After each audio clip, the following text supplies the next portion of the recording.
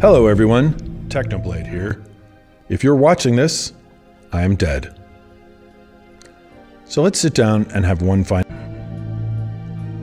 My real name is Alex. I had one of my siblings call me Dave one time in a deleted. I miss Technoblade.